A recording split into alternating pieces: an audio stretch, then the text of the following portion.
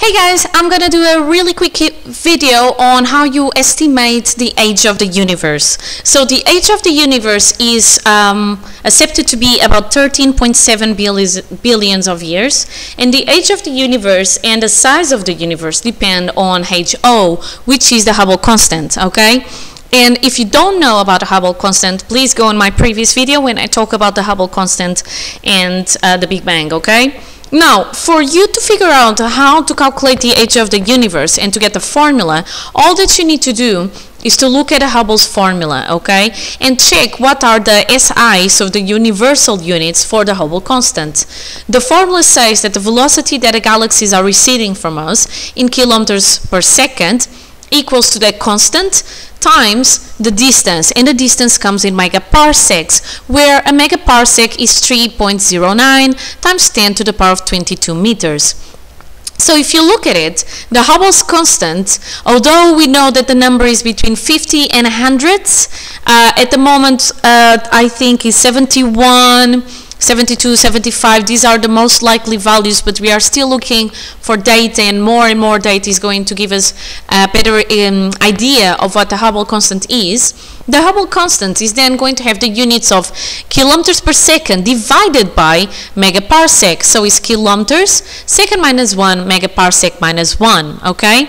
So that means that the units for the Hubble constant is 1 over second. And the way that you get the units for the Hubble constant is to make the velocity in meters per second and the distance in meters. This makes that the meters from the velocity cancel out with the distance in meters or the units in meters for the distance and you get 1 over s as the units for the Hubble constant. This means that if I simply do 1 divided by 1 over s, so 1 over HO, that is going to be my formula to calculate or actually estimate the age of the universe, okay? And now the age of the universe can only be estimated because we still don't know the exact value of the Hubble constant, okay? So let's do this. Let's calculate the age of the universe. Um, now just before I start so I was saying let's do it and then I'm like oh so just before we start. So if the, the, uh, the time sorry is 13.7 billions of years which is more or less what we say at the moment it means that we can see the universe as far as 13.7 billions of years in all directions as if we were in the center of a sphere and anywhere we would look we could see up to 13.7 billions of years okay now, the size of the observable universe depends on the age, and that depends on the Hubble's constant. So the size depends on the age because it depends on how long the universe is expanding. So the more it expands, the bigger it becomes. So that's why the size depends on the age. And the age depends on the Hubble constant, HO, because as you can see, the formula is that the time in seconds equals 1 over HO, okay? So that's why the Hubble's constant is so important. Now, age of the universe, let's do it. So I'll do 1 over HO. I'm going to do HO to be 75, although I think my result shows as if I would have used the number 71. But anyway, you get a number more or less like that, okay? And then I'm going to make those kilometers per second into meters per second. So that's why I'm going here to multiply by 10 to the power of 3 because there are 10 to the power of 3, so a 1,000 meters in 1 kilometer. So 75 times 10 to the power of 3 meters per second divided by the distance, right? In mega, uh, the megaparsecs need to go in meters, so divided by 3.1 times 10 to the power of 22 meters. If I do these calculations and I cancel out these two m's, so the one from kilometers per second and the one from the megaparsec to become meters, I get 1 over 2.43 times 10 to the power of minus 18 second minus 1. So if I do this calculation, I get 4.1 times 10 to the power of 17 uh, seconds. I now want to convert the seconds into years. So what I do is 4.1 times 10 to the power of 17 seconds divided by the number of days we have in a year, so 365. That multiplies the number of uh, hours we have in a day. So times 24.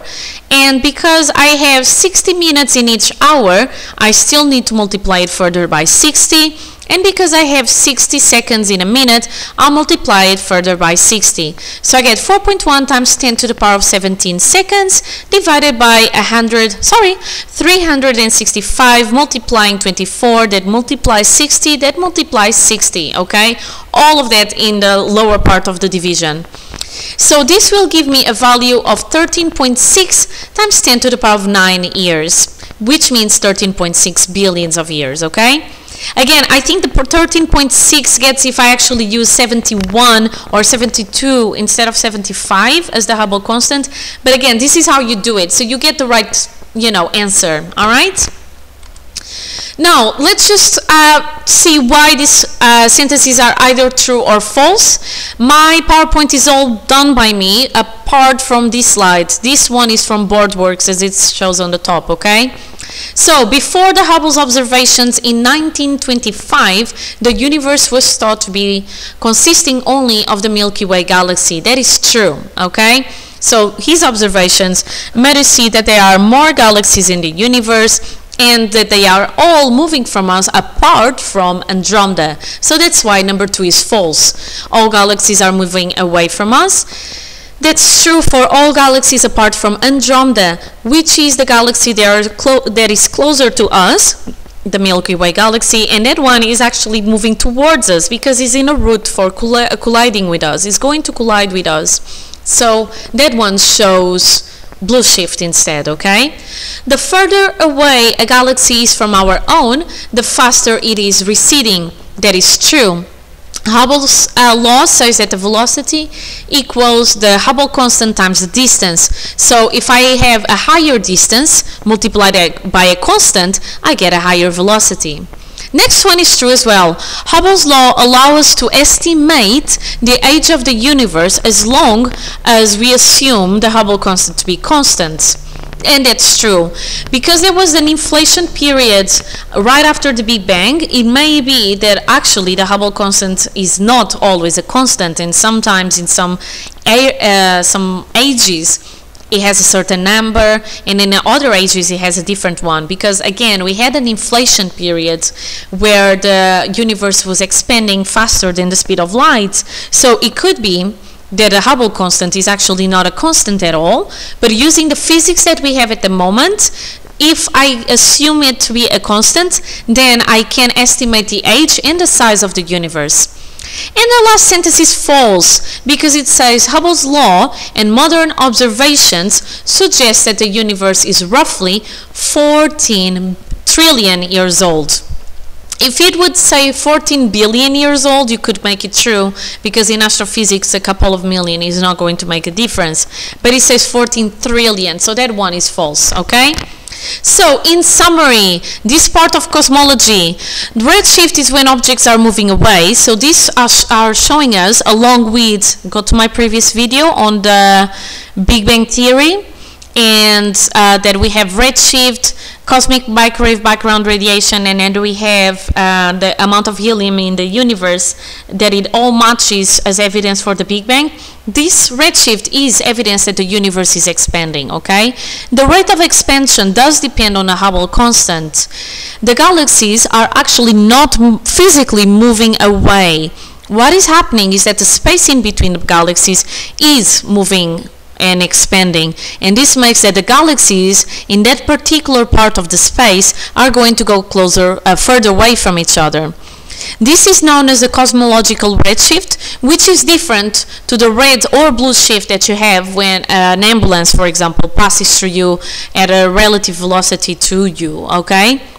Now, if you want to see this part of the galaxies are not moving away and the space is what is moving or expanding, pick some balloons, draw on a balloon a grid, and then at the points where the lines meet on the grid, uh, label them A, B, C, D, and these are going to be your galaxies. You get air into the balloon, so you expand the balloon, and you're going to see that the plastic that makes up, or the rubber that makes up that balloon expands.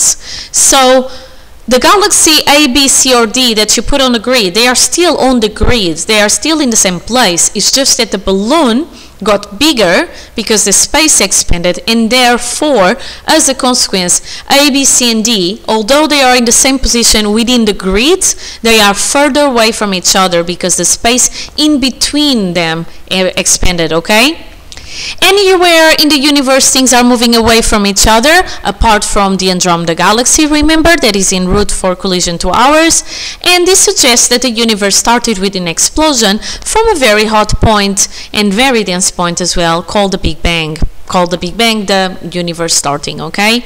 If you want to know more about the Big Bang, go on the playlist on cosmology, uh, astrophysics cosmology, and I have there what it is, how we came to be as a theory and the evidence. Redshift, cosmic microwave background radiation, and the amount of helium in, in the universe, okay? So that is it from me for now. Uh, up to my next video. Be happy and healthy. Bye!